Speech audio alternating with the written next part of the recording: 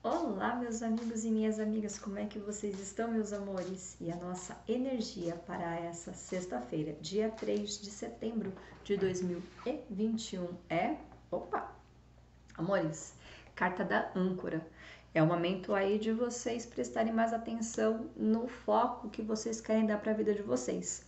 Vocês estão estabilizados, vocês estão sabendo para onde vocês querem ir, mas às vezes a gente precisa dar uma paradinha, sabe? Colocar um pé no freio para a gente arrumar as velas do nosso, do nosso barco e seguir em frente. Então, essa carta aqui ela pede para vocês diminuir um pouco o ritmo, né? Sexta-feira chegando, dia de vocês já, já irem diminuindo para aproveitar o final de semana. Então, aproveita tá? Dá aquela descansada para final para curtir o final de semana e já durante a semana já estourar.